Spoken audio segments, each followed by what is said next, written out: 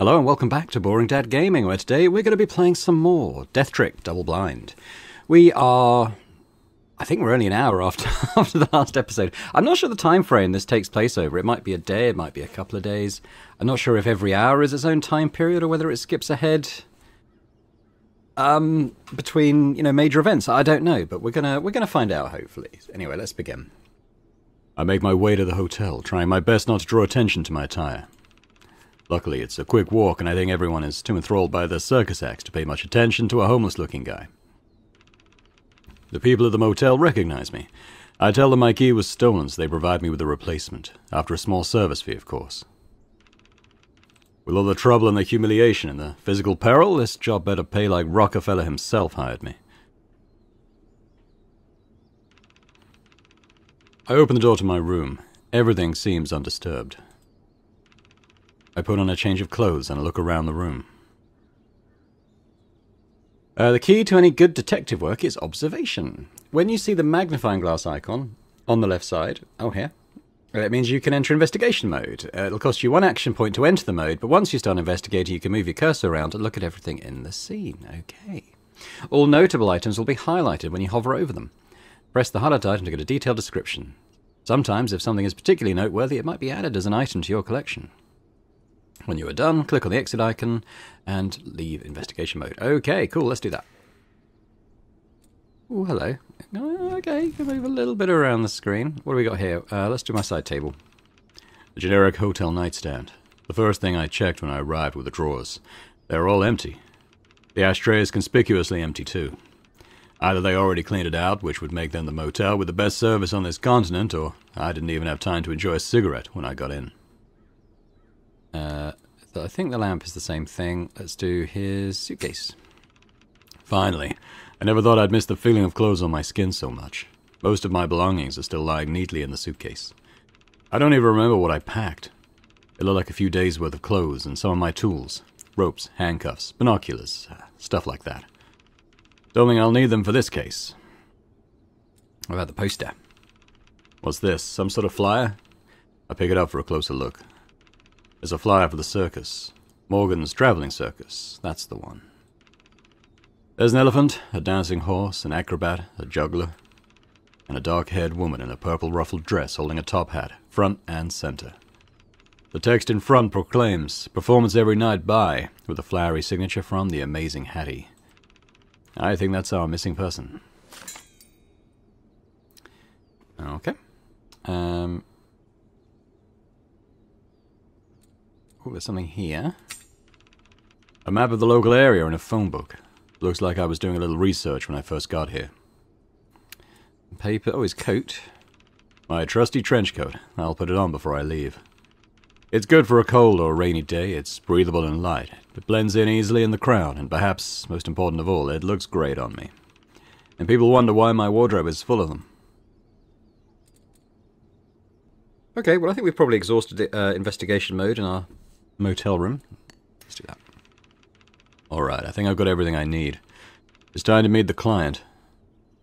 Are we done here? When you see the map icon on the left side, it means you can choose to move to another location. Simply click and go where you want to go. Okay. So in the future, you'll also be able to choose which location you want to go to whenever you want. This does not cost any action points.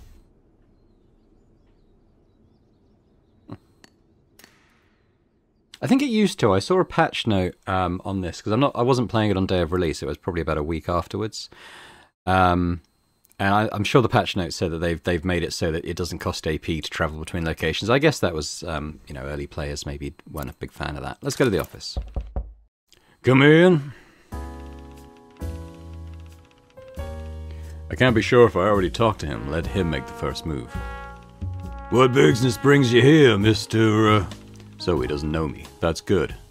But also odd. If I didn't come here to meet him, why was I here? Is there someone else that I was supposed to meet? Uh, well, let's start off about us, I suppose. Well, I should ask you. After all, it was you that called us, Mr. Morgan. Mr. Jones from San Francisco? Yes. Okay. I understand I'm here to investigate the disappearance of your magician. Well, not quite. You see, there are a few details I didn't want to mention over the phone. I was hoping to let you know in private when you got here. To be honest, I was expecting you here a little earlier. The situation has, uh, evolved since our last call. I apologize. Oh, sorry. I apologize. There was an incident. Regardless, what do you mean, not quite? Do you know where she is? He sighs. I trust that there's no need to say this conversation must remain strictly confidential. Yes, of course. Well, there's no easy way to say this. Hattie is not missing. She's dead. That's certainly one rather significant detail to omit. Sorry, but I hope you understand. We don't really have another choice. The circus isn't ready to handle the consequences of that announcement, particularly when we still don't even know the killer or the motive. You're sure it's murder? Yeah, she was found with a knife in her chest. hard, to, hard for that to be a suicide or an accident, isn't it? Okay. I think we knew that. I, am assuming we're going to get the chance to move all through these, so let's start at the top. Can you walk me through what happened from the beginning? When did the murder take place? We arrived and told you this Monday, before sunrise. It took most of the day to set up, so I gave everyone the rest of the day off. I made a trip into town as I had some business to deal with at the bank and a few investors to meet with. It was raining like hell that afternoon and the road got very muddy. By the time I got back, it was almost 9 p.m. and everyone was waiting for me. That was when they told me Hattie was dead. One of our performers, Echo, found Hattie in the storage room. Her pulse was already gone by then. Did they call the police? I called later that night.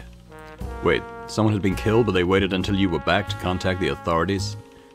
Mr. Jones, I know it might seem strange, but you have to understand, in the circus we are uh, very guarded people. Most of us haven't had many pleasant interactions with law enforcement. Usually, we try to resolve our issues internally, but this is not a simple fight or theft. This is far beyond what any of us are accustomed to. I, uh, we, were all in shock. So I insisted on calling them. I understand, but then why hire a private investigator if the police are on it? He pauses, pressing his lips together. I can almost see the amount of force needed to clench and unclench and respond. I called them on Monday night. And they showed up here the next day. They claimed the body, took some photos, and asked everyone a few questions. I ain't heard from them since. Not a single update. I called them yesterday to ask if I could have a copy of the autopsy report, and they stonewalled me. Do you know? Oh, do you know why they're ignoring this case? I just noticed. Um, he's got like a little badge here on his pocket uh, which matches this symbol here on this poster. The Great Show. The Dancing, Tumbling... Summers? Sowers? Tumbling Summers? Maybe. Could be pertinent, might not be. Corruption, laziness, prejudice, take your pick. Frankly, I don't much care about their reasoning. In my business, you learn very quickly that you can't buy respect from those who have none. Creative solutions, though, those are always for sale. And that's where I come in. And that's where you come in. So you still don't have the autopsy report. I can call them again, but at this point I wouldn't hold my breath waiting for it. That means you don't have a clear time of death? I believe the last time everyone saw her was around 5 p.m. A few of my workers saw her coming out of her trailer. No one knew where she went afterward until Echo found her at 7 p.m. And can we be sure that time frame is reliable? Yes, both can be corroborated by others. You said it was raining that afternoon, correct? Do you remember when the rain started and stopped? Hmm, well, it didn't start until after I got to town, so about four, and it had already ended when I got back. And how was the weather these past few days? Not a drop since. Good, that gives us a pretty solid window. I could ask around, see what everyone's doing during that time period. Time of death. So we've, we've established Hattie was killed sometime between 5 and 7 on Monday. It was raining heavily on that afternoon between 4 and 9. But the weather has been sunny since then. Ask the rest of the crew what they were doing at that time. Looking for an alibi, right? It probably won't lead to an arrest, but it should eliminate a few suspects. Good to know. Collect alibis. The suspects are scattered about doing their own things in the circus. I need to find each of them and inquire about what they were doing at the time of Hattie's death. So when I click about the victim, I assume it's going to take off an, an action point, yeah? Actually, no. Did Hattie have any enemies? Anyone getting any fights with her lately? Hard to imagine anyone wanting to kill her. We are a close-knit group. We've been performing together every night for quite some time now. It's difficult to envision anyone here killing anyone else. What about someone outside the circus? We tour the country, never stay in one place for long. It's extremely unlikely that my crew have any, uh, entanglements with anyone in this town. So which way would you lean? Outsider or a fellow performer? I don't rightly know what to think, Mr. Jones. Anyone in particular stick out? Is there anyone in particular that might have a reason to do something like this? Nope, not at all. I don't think any one of my team would do something like this. They're good kids. With all due respect, if I had a nickel every time someone incorrectly said that to me, I'd have retired years ago. I know. Why else do you think I called you? I understand that my judgment might be uh, flawed here. Look, rationally, I know the person who did it was here before the show ever opened. Probably has a personal grudge and has access to storage areas. All signs of someone in your crew. Yes. If, uh, I feel like I know what you're gonna ask. hypothetically, what would you say the killer's motive could be? I'm afraid I'm not the best person to ask. It's your circus. Generally, I try to refrain from intervening too much in their interpersonal relationships. I'm afraid my meddling could do more harm than good. The performers would surely be able to tell you more about this than I ever could. However, whether they will be entirely forthcoming with you is another matter. Well, that's for me to worry about. You just need to tell me who I need to talk to. Well, you'll want to talk to the other performers and our mechanic Alice. They're the ones that knew her best. Oh, and there's one more person you should be aware of. Sure you're aware of what's going on in the newspapers? I'm not, but I nodded and let him proceed. We can't announce the death yet for obvious reasons, but we're under a lot of pressure. The show must go on, as the saying goes, so I had an idea. Oh no, it's never good when they have ideas. What sort of idea are we talking about? I hired someone to pretend to be Hattie until we get the case figured out. Are you telling me there's a fake version of the murder victim walking around? Well, I told her to keep a low profile, so you probably won't even see her around. How nice of you to remember to inform me about that. Wouldn't want to think I saw a ghost. I just thought you should be aware. And just where did you manage to find this replacement? Could this person have anything to do with the case? I looked into it and no, she wasn't anywhere near the circus at that time, so uh, that much I'm sure of. Alright, about the crime scene. Where did the murder take place? Can I go see the crime scene? Well, about that. There is actually no crime scene anymore. Excuse me? What does that even mean? Well, the day it happened, we were busy setting up the circus. Most tents weren't set up yet. The only one we had was a small temporary tent for short-term storage. And that was the crime scene? Yes, we had to take it down because the circus had to open. So we have nothing. Well, the police did take a photo of the scene. Uh, here's a copy. Oh, shit. Oh, wow. Ah, okay. Well, there's Hattie, tied up to one of those spinny knife trick things with a knife buried in her chest. Yikes. Okay, well, let's look at her first. Her hair is a little messy, but the room and her clothing look pretty tidy. Was there bleeding from the wrists where they were bound by the ropes? I don't think so. Or were there any other visible wounds other than the knife? Nothing clearly visible, no. No trauma on the head or the neck? No. Curious. What are you thinking? Well, there's no sign of struggle in the scene. If she tried to fight back, it would have been at least messed up, would have at least messed up this room and her clothes a little bit. If the killer was holding the knife when they fought, she would have defensive wounds on her hands. So either she was unconscious, or she agreed to be bound. I initially thought that someone could have attacked her from the back, but that doesn't appear to be the case. I resist the urge to reach for the back of my own head. Different MO then. Alright, check out the knife wound specifically. Were there any fingerprints on the handle? I asked that too, but no, they couldn't find any fingerprints. So, the killer was either wearing gloves or wiped it clean. How about the knife? Do you recognize it? It's circus equipment. It, it's one of our custom-made throwing knives. I don't know much about the details except they're extremely sharp and well balanced for throwing. I do know that it still takes incredible skill to hit your target with enough force and accuracy for it to stick. Well, there might be one more thi- one thing you're missing. Uh, what's that? The murder weapon is a throwing knife, but that doesn't mean the killer actually threw it. No one witnessed the act. For all we know, they might have just tied it to the board and stabbed it through the chest. Right. Maybe that's the point. Nice piece of misdirection from the killer, perhaps. Or maybe there's something more to the knife throwing. Symbolic reason? I can't be sure yet. Uh, what about the board? What is that board? That's uh, an act we do. It was Hattie's signature performance, the knife throwing act. Someone would be tied to the board and she'd throw knives at the board without hitting her partner. The crowds loved it. Could this have been a practice gone wrong? Well, there's just one problem with that. Hattie's the one throwing the knife, not the one being tied up. It doesn't make sense why she'd be on there. Is anyone else in your circus a trained knife thrower? As far as I know, the only one who could do it, or is, or was Hattie. But obviously, she couldn't have done this to herself.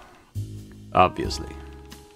If you have questions about the act, you should ask Aideen about it. She's our fire performer. She was also the one Hattie strapped to the board for the performance. Must take an incredible amount of trust for her to be tied there while someone is throwing knives at her. They were very close.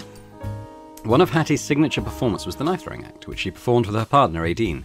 As far as anyone knows, Hattie's the only one in the circus trained in knife throwing. Alright, looks like I need to find this Aideen later.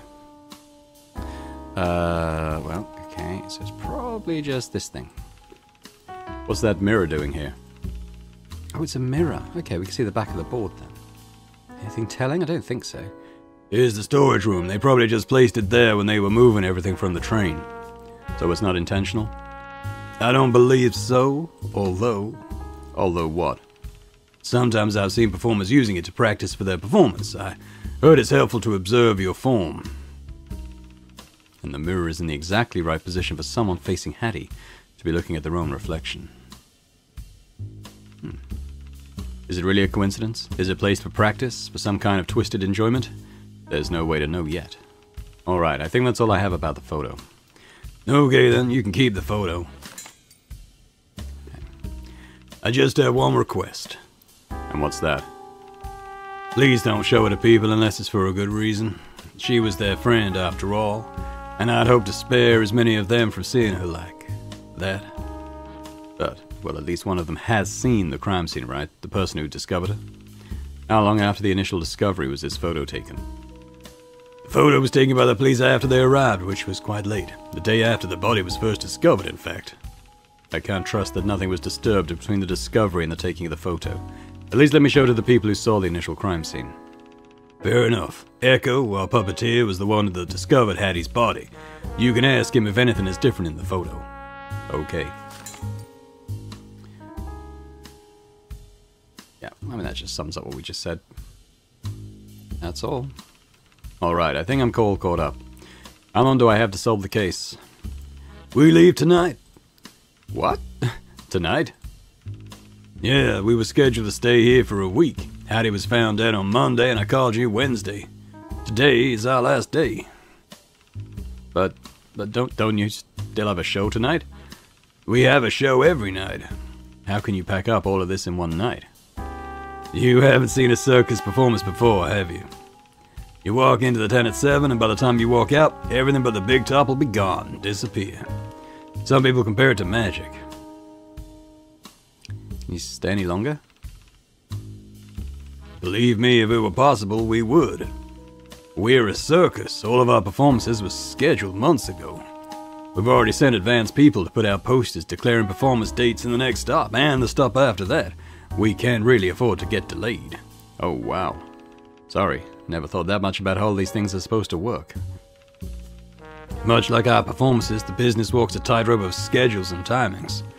Everything has to go according to plan, or it will cause a chain reaction of everything falling out of order. The big show starts at 7 and ends before 10. The train will start leaving in sections, with the last one departing less than two hours after the show ends. So we basically got until midnight. So you're telling me any witnesses or evidence I could possibly have will all be gone before midnight? That's right. It's like Cinderella, but instead of a princess, I'm chasing a murderer. Well, when you put it that way. Well, it seems like time is short. I'll need anything and everything you can give me about the case. I will also need to speak to some of your people. Of course, whatever you need. And if they ever manage to send over the autopsy result, I'll let you know as soon as possible. And I'll give everyone a heads up about you being here, and you can talk to anyone on staff. But it is a show day, so they might still have responsibilities that keep them busy at times. Uh, sorry about that. Oh, and there's one more thing. What else?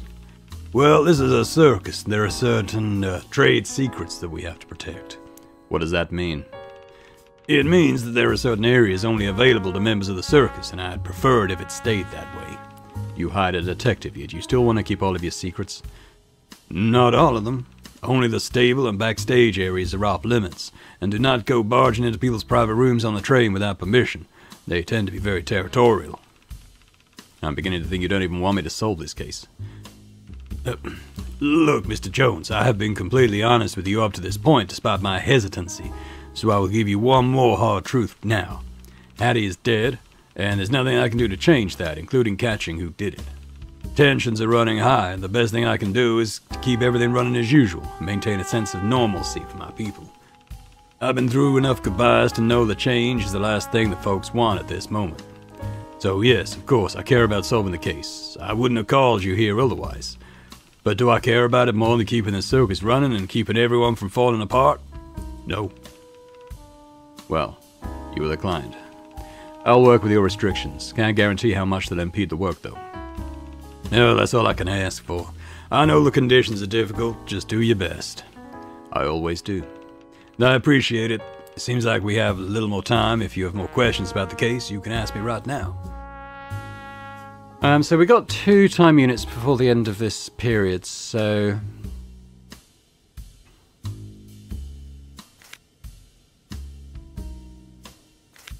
I mean, there's lots I want to ask him about.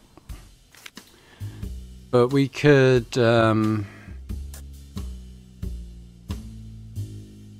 we could tell him about the attack. Sure, I want to tell him about this. I don't want him to question my competency or something. Oh, yeah, fine. Okay. fine. I thought he might have. An, yeah, okay.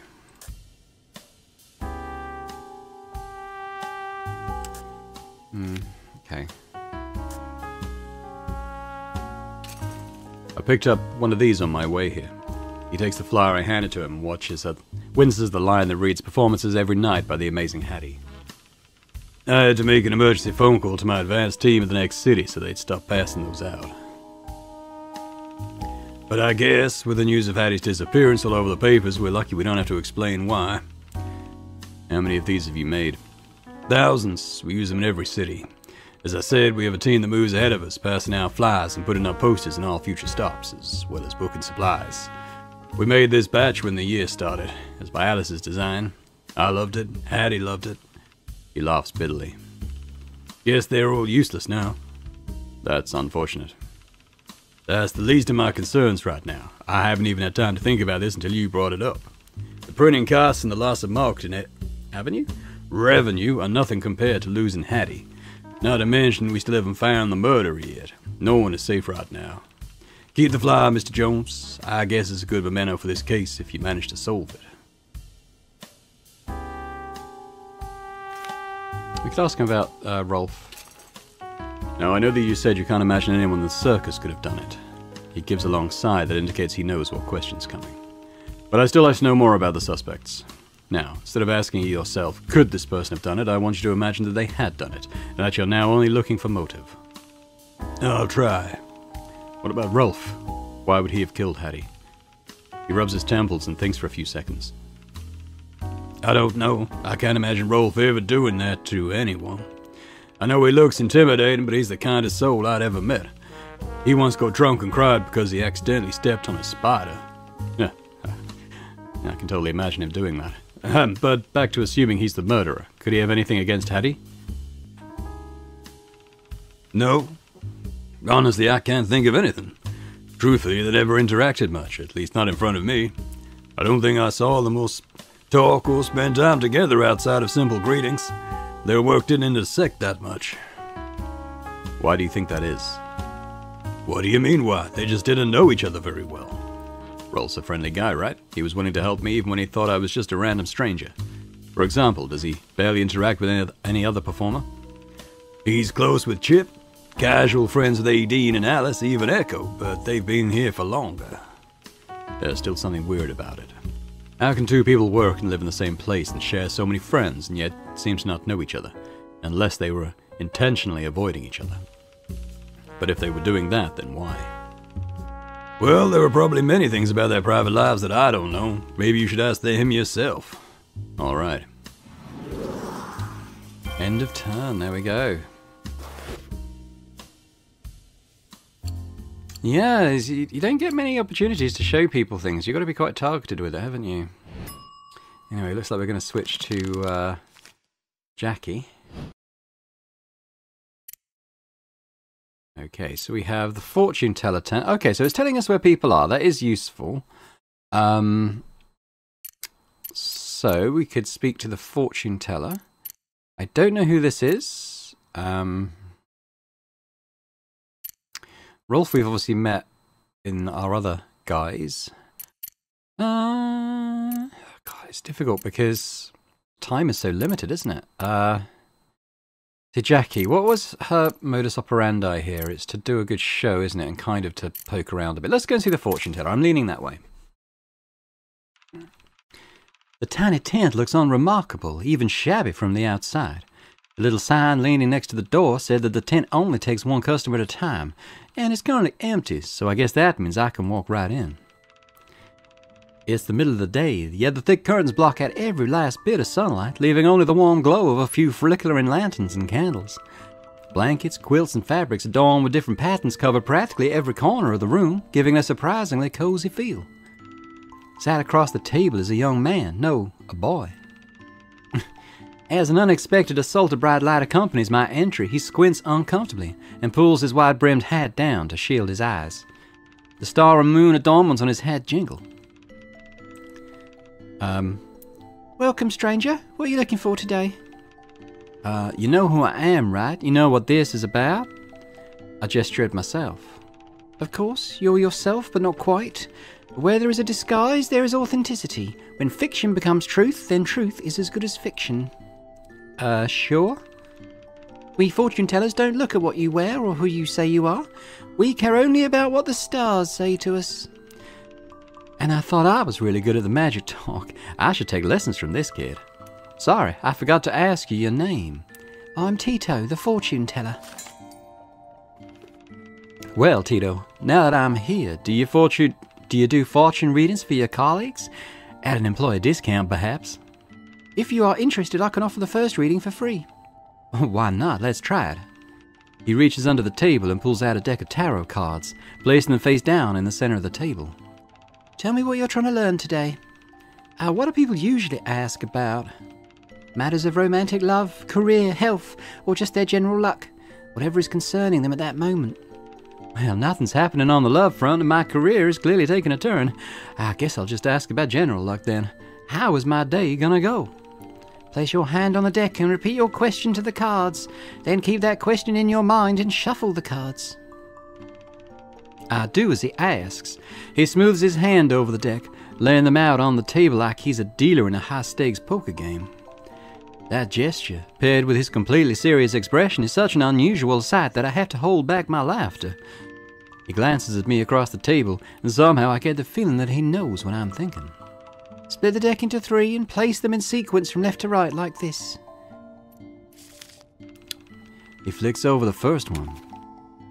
The magician well, that makes sense. Not just the magician, the magician in reversed position. A sign of. Wait a minute. Sorry to interrupt, but, uh, is the card supposed to look like that? It looks a bit like Hattie, doesn't it? Oh, and it's got things drawn on it. It's got like, um, when it's upside down, but it looks like maybe birds or doves or something? The man in the card is wearing a top hat and a dress? Unless this is some sort of special edition circus tarot card, I don't think it's supposed to look like that. Oh wait, someone's drawn. It didn't. It's someone's drawn on the hat, and yeah, and shaded the dress. They've made it look like Hattie, but it didn't. It didn't always look like that. That's interesting. Okay. That's um. A long story? Jan did that. He looks a little embarrassed and solemnly clears his throat. I assure you, it doesn't interfere with the reading. okay, sorry for interrupting. You were saying? The magician reversed. You are in a situation full of illusions and trickery. Well, I, sh- I should think that's obvious with this whole situation. Tito doesn't even respond to that. I thought he might be mad at my somewhat flippant attitude, but when I look at him, he appears confused about something. This card should represent your past. Perhaps he's trying to say that you've already completed your illusion by stepping into this new identity. To make full sense of it, I need to look at the next card. Ah, now it's getting interesting. Seven, seven of cups. Choices, confusion, wishful thinking. Someone's drawn on clouds on this one. Uh, looks like one of those sort of through the head arrow things, but kind of like droopy. Okay. This card represents your present. You face a multitude of choices, and you may not be sure if they will work in your favour, thus the confusion. The most you can do is wish for the best. Sounds awfully vague. Perhaps he says that to all his clients. And I suppose the third card will represent my future? Hope it's not some generic line reassuring me that everything will be fine. They've drawn little parachutes on them. the tower, the tower, disruption, sudden upheaval, potential disaster. Definitely not generic. Definitely not reassuring. He sounds grimly serious. However, that effect is significantly mitigated by the doodles on the card. Someone drew colorful parachutes to the two people jumping out of the flaming tower, making their descent look gleeful rather than die. Ahem. Right, right. Potential disaster. Well, that doesn't sound good. You came seeking answers about your fortune. So, from these cards, what do you see? I see. Maybe it's just my imagination, but I think I see the candlelights jump in the corner of my eye. Tito continues to speak, slowly and clearly, every syllable bubbling like water on the cusp of boiling. I see misfortune in your stars tonight. Uh, what do you mean, misfortune? Like stubbing my toe against a table misfortune, or like there will be blood misfortune? That's up to you to interpret. I thought you were the fortune teller. That's all I can give you. Well, well, anything I can do to avoid this misfortune? Being able to tell you your fortune doesn't mean being able to change them. Well, what's the point of knowing then? Sometimes I wonder too. So that's it? You tell me ravens are going to visit my bed tonight and that's all? There is one more thing I can do. I believe you will find it helpful, but it does not come without a price. A what? Consider the circus a mystic space, and time here a separate entity. The more you do, and the more you learn within this space, the flow of time could be changed. What? In short, the experience you gain here can be exchanged for more opportunities for action. When you have enough experience, you can visit me any time to initiate the trade. Okay. Hello. So total A total AP plus one. You lose 100 experience. Uh, I currently have 75. I'm afraid you don't have enough XP for that. Come back when you've completed more tasks. Oh, oh, I see, I see. Okay. Um. So, I guess I just leave. I guess I just leave him now. Like I can't offer asking questions about stuff. All right. Interesting though. It's good that good to know that. Uh, well, I'm. We still got five AP. That was good. That was that was a free action. That's that's good. I'm gonna go backstage and talk to this guy we've not seen before. Alice apologizes as she scurries out of the tent carrying a bag of supplies and tools. I decide to sit back here for a while, get acquainted with these stage tools. I'm making a mental list of all the sparkly scarves, feather bows, and wigs, constructing outrageous outfits in my mind. Chip.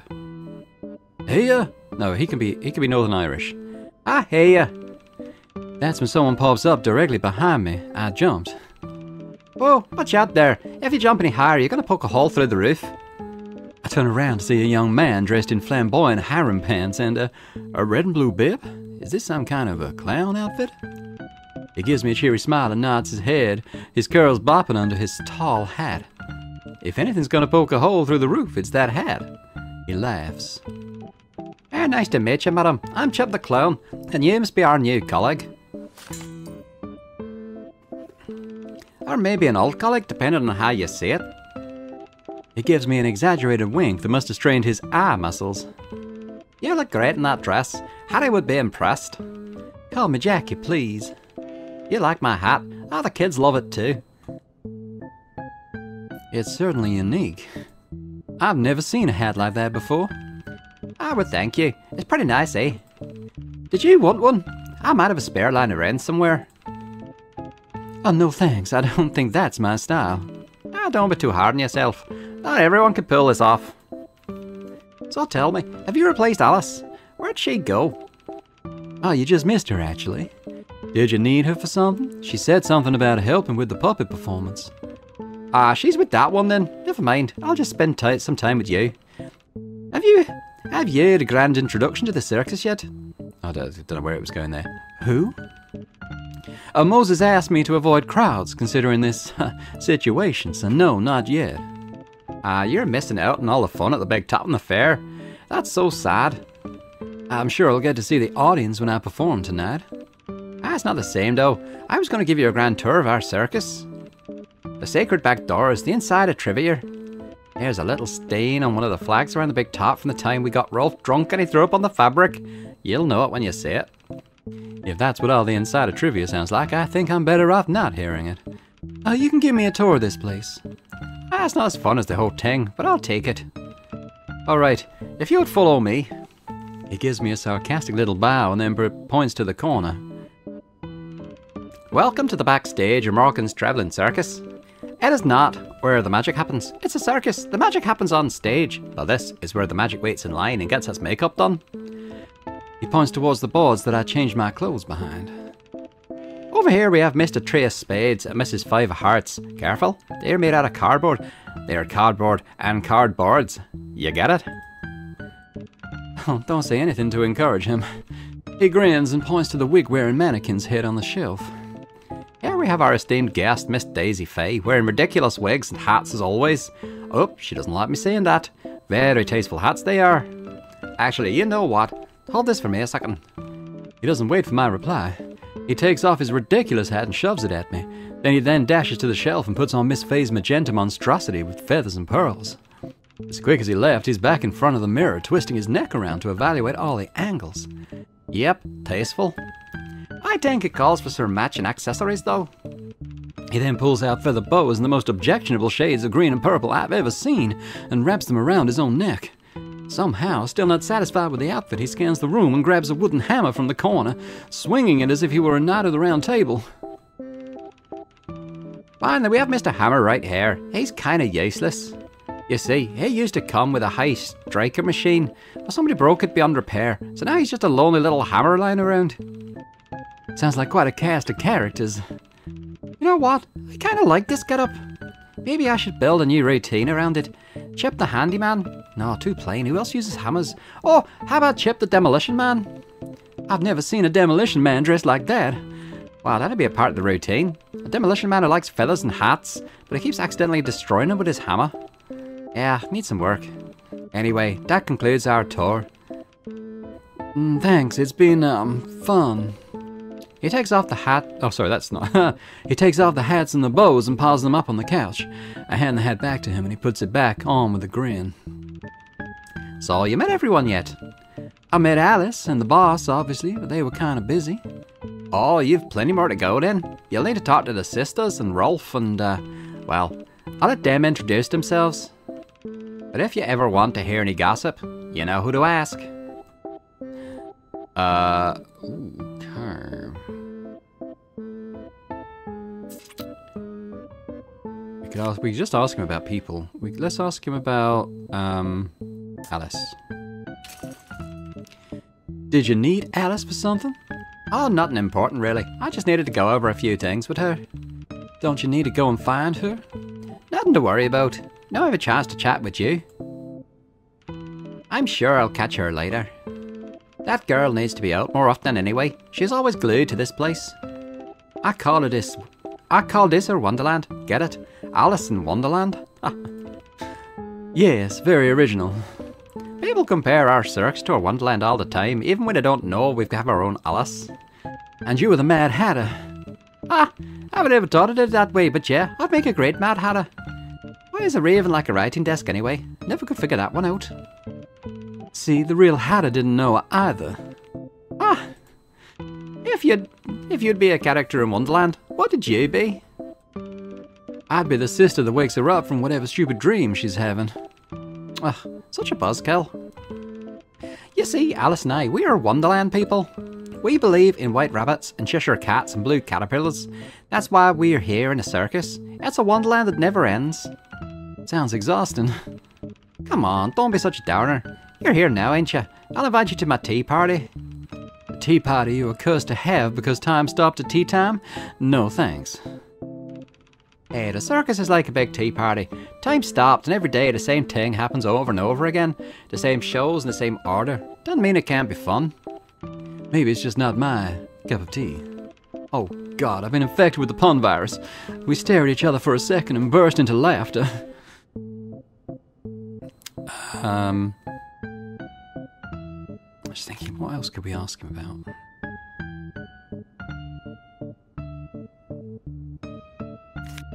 We'll ask him about the fortune teller.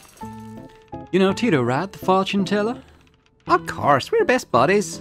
I find it hard to believe that he could call you his best buddy, or anyone really. Well, of course he wouldn't put it like quite like that, but we're friends. He's apparently best buddies with someone at least 15 years his junior, and yet somehow he's the immature one in this friendship. What do you two even talk about? Oh, all sorts of things. Work, life, politics. You've met him right. Kid's very insightful. Sure. And we play cards sometimes. You mean tarot cards? No, but also yes.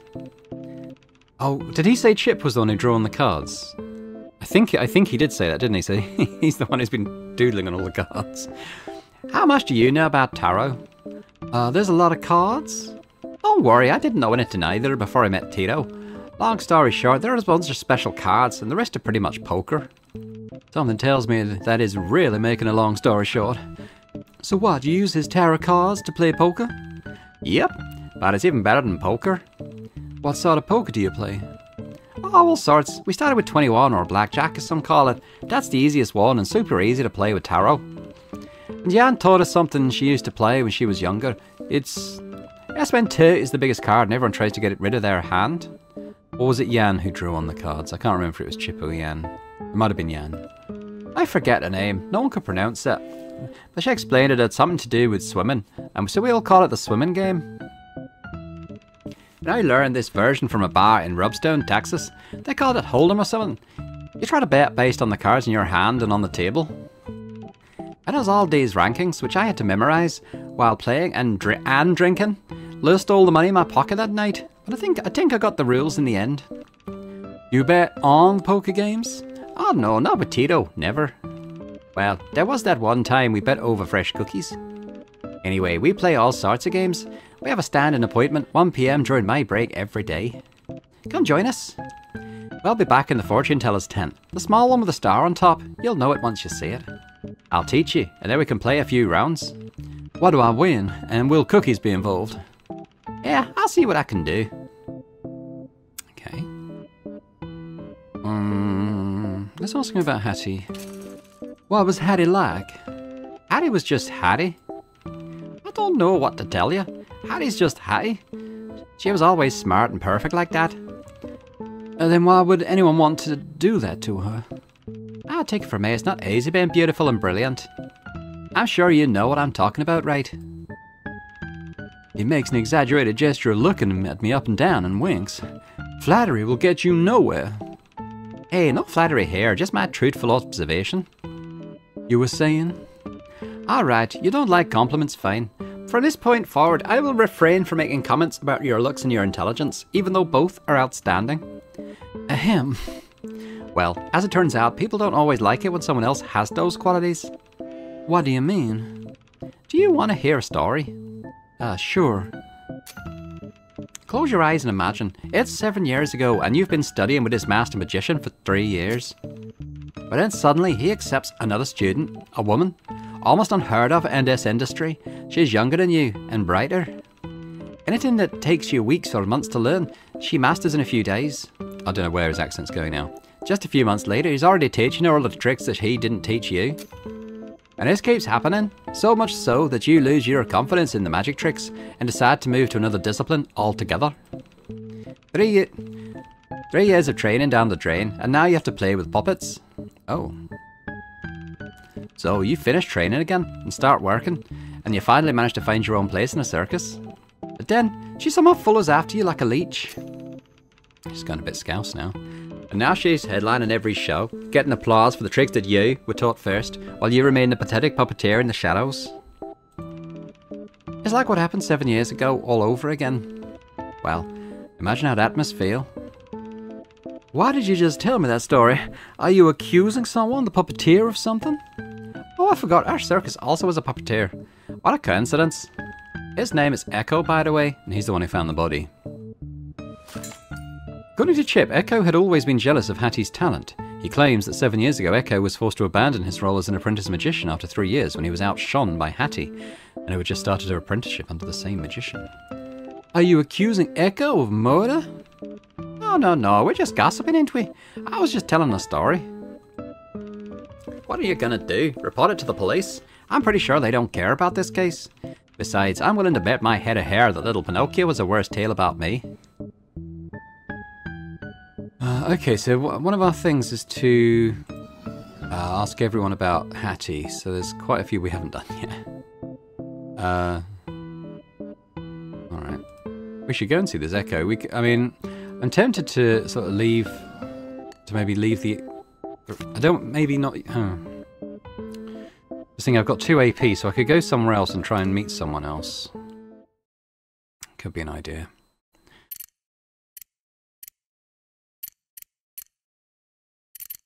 We could go, we could go and meet um, Rolf with Hattie. The stable is nestled in a semi-secluded area far from the entrance of the circus, where trees obscure a part of the view. Guess it maintains some mystique around the off-duty exotic animals. I step past the danger sign in front and make my way through haystacks to the horse stalls in the back. A mountain of a man hunches over in one of the tiny stalls, his hands making quick work with the rope while mumbling something to a horse. The horse sees me approach before the man does, and it nudges at his chin with his head. Sorry, at his chin with its head, yeah. He can't exactly turn around in the confined space, so he has to twist his neck at an awkward angle to glance back. Excuse me, ma'am, you're not supposed to be. Oh! He looks up in the middle of his sentence and promptly swallows the rest. I should probably explain. Hi, I'm Jackie. I'm pretending to be Hattie. There's no one else around watching unless you count a few dozen animals, but I still feel the felt the need to whisper the second part. Mr. Morgan told you guys about his plan, right? Otherwise, this is gonna be uh, hard to explain. Yes, yes, sorry, it's just, uh, you're wearing that, and for a moment it felt like, uh... Like you seen a ghost? Yes. Anyway, it's good to have you here, even if you can't be youth for a little while. Oh, well, it's good to be here. We stare at each other for a second, me trying to shake straws of hay out of my dress, him still painfully twisting his head around like an owl. The horse he's working with snorts impatiently. That finally broke his trance. He finally maneuvers himself out of the stable, but not before quickly patting the horse on its muzzle. So, you're here to say hi? Well, yes, I'm just trying to introduce myself to everyone in the circus. Well, you know me now. Oh, I guess I haven't even told you my name yet. I'm Rolf, the animal trainer here. And by the way, this is Muffin. The pale one over there is Waffles, next to her is Pancake, and this black beauty over here. Can I guess? It must be uh, burnt toast. Actually, that's Obsidian. oh, sorry, I thought we were working with a breakfast food theme here. Oh, that's because old Obi's mine. So you named him and someone else? I'm guessing a breakfast lover named the rest? Actually, it's the other way around. It's a kind of long story. I've got all the time in the world. I grew up with the Obsidian. He's the horse we had at Collins and Lucas, the, tra- the circus my parents worked at. When they brought him in as little foal, I was barely as tall as he is. I'm obviously taller now, and he's quite an old fella. So when my parents retired and I left to come work for Mr. Morgan, I just had to take old Obi with me. Uh, let's ask about the more obvious thing, I suppose. When was that? And my parents decided to retire the moment I turned 18, so six years ago. You've been working here for six years? Yeah, I think most people from Moses' old crew were nearing retirement by then. I was one of the first new people working here, alongside Chip, who was just a kid too. Ah, you should have seen us. It was a funny mix, both the oldest and youngest people in the business. But we got the circus up and running eventually, and look at it now. And of course, good old Moses is still going strong. He must be in his 50s by now, no? I don't know exactly, but he's been working in the industry since the early days of Barnum, so he's got to be approaching 70 by now. But it's hard to tell just by looking at him, isn't it? Anyway, I've got Moses to thank for Obsidian. If he didn't agree to pay to buy Obi off my old bus, who knows where Obi and I would be now. It really is a lovely horse. Great, I guess I should say hi. Hi, Muffins, hi, hi, Waffles, Pancake, and hello to you there, Obsidian. And of course, hello to you. I'm sure the boss already said this, but welcome to Morgan's Traveling Circus. Now you're one of us, no matter how long you're staying. It must be kind of intimidating to get to know all these new people and stuff, what with having to keep your identity secret and all that. Thanks. Well, I'm just trying to remember everyone's names and stuff, and hope I don't screw the pooch. I'm sure you'll do great. Otherwise, the boss wouldn't have chosen you. Well, you've been working here for a while, so you must know everyone pretty well. Yes, of course. If there's anything you need help with, I'm happy to talk.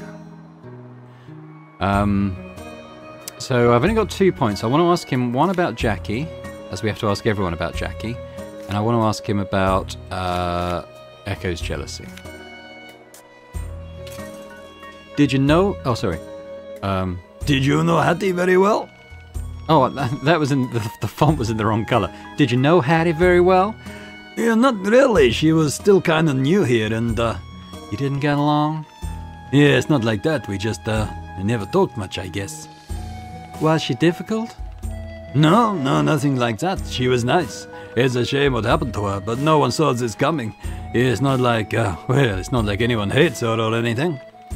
Is there any reason why you didn't get along? Uh, we never talked about it. Talked about what? I don't even know if there was anything to talk about. But you implied that there was. I sense some juicy gossip here. Uh, it's not her, it's me, I guess. Hmm, where have I heard that before? But he doesn't notice me in thought. He's in his own little world, shaking his head and rambling on. And she's a smart gal. Maybe she sensed something from me. I've been told that I'm no good at hiding my feelings. He shuffles his feet and looks at the ground. That's what I think happened anyway. Did he like Hattie? Like like Hattie? And she didn't return his feelings? Is that what this is? You're still not telling me what this is. Oh, you know what? Never mind. It's uh, it's just complicated. It's not my story to tell. But she's gone, so no one will be here to tell it anymore. But uh, Why, was she seeing somebody? He stands straight, suddenly alert.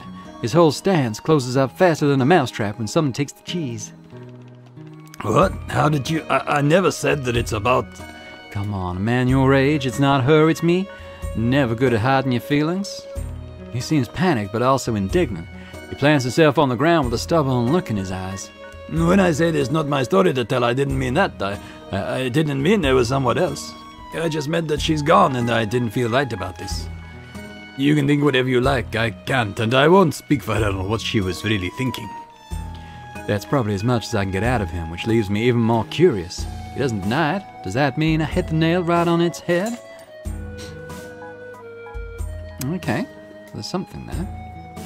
And I want to ask her about him about uh, Echo's jealousy. Do you know anything about Echo's apprenticeship? Oh, he studied with the same mentor as Hattie, didn't he? I think I'd heard that somewhere. Oh, so is it true that he originally studied to become a magician? Huh? I I've no idea. Never heard that part before.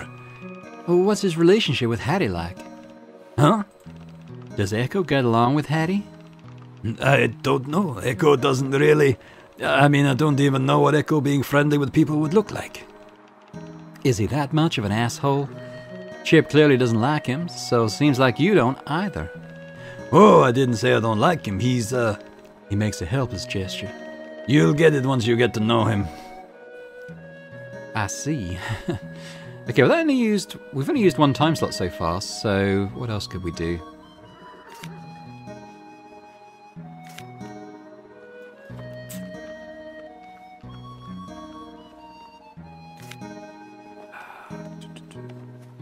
Try the mind reading act time. mind reading? For real? If you believe it, then it's real. But but how does it work? Do you have to ask them questions? Do you have to touch them? Or do you just hear everything they think in your mind? A little bit of everything, really. Depends on the situation. It's hard to explain. Let me put it this way you look at your animals and you can see and understand things that other people can't, right? Their feelings, their needs, their motivations. I guess. People just happen to be my kind of animal. I understand. But still, humans are just so much more complicated than animals. I think animals generally do what they want, and I guess humans do the same things too, but they lie or hide their intentions. I've come to find that the more people try to refrain from directly expressing their desires, the more they come out loud and clear in some other way, if you know how to read them. Oh, wow. So, does this mean you can tell when people are lying to you? Sometimes. Why, you afraid I'm mind reading you right now? Uh, no? That's a lie. Well, a little bit. Why, do you have something to hide? A secret? Everyone has secrets. Look at me. Are you hiding something from me right now? What? No. Is this about Hattie? No. Do you think I can really tell the truth just by asking people questions? If I could, I'd be a police officer or a spy or a criminal, or maybe a politician, in the order of increasing wealth and moral corruptness, but not a mediocre magician. Oh, okay. I thought, um, so it is just a trick, huh? As I said, if you believe it, then it is real. End of turn. Okay, I was hoping maybe we could get in, get him to confess something by mind reading, but but not. Whoa, look at the time. I can't believe I've kept you for that long. That's it. I'll get out of your hair. Is it close to 12 already? Yeah, almost. Oh, you're a new here, right? Do you have any plans now? Oh, what do you mean? Not really. I'm just gonna wander around, introduce myself to some more people. Ah, oh, come on. Come with me then. What? You haven't seen the Calliope performance yet, right? I have a feeling that you will love it. Come with me. Er. What I feel at the time is going to disappear really quickly. okay, it's 11 a.m. now with. Do we even know Jones's first name? I don't know that I do. Um, let's see what we got. Well, we got Tito. We could speak to him with the detective as well, because maybe we need to introduce uh, the XP for time thingy. Uh, there's someone there we haven't met yet, and there's someone here we've not met yet. That could be worth doing. Quick time check on the video says that we're already getting up to an hour though, so probably a good place to leave it. So in terms of tempo, it feels a bit like um, doing a time period with each of the characters is kind of a, a good a good kind of uh, timing for, for an episode. So I guess we'll continue on that basis. I don't know, as I said, whether we're going to get the chance to do it every hour um, or whether there's going to be time jumps at certain points. I've no idea, but we'll find out. So thanks very much for watching. Hope you've enjoyed this episode. If you have, if you could hit the thumbs up button, that'd be amazing. Leave me a comment. Let me know what you think about the story so far, the various characters we've met. I must say, I don't think of the characters I've met and spoken to yet. I don't think I've spoken to the killer already. Um, Echo sounding like an like an early possibility, but um, I'm wondering if this is Echo down here in the fair. So I think I'm definitely going to go and speak to the at least these two. Um, but I, Tito was a free action um, previously. So maybe it makes sense to do that as well if we can before we run out of time units on the next one. But anyway, that's planning ahead. But um, I'll just say thanks very much once again. If you haven't already subscribed to the channel, it'd be amazing if you could do that. But otherwise, um, I hope to see you next time. Bye for now.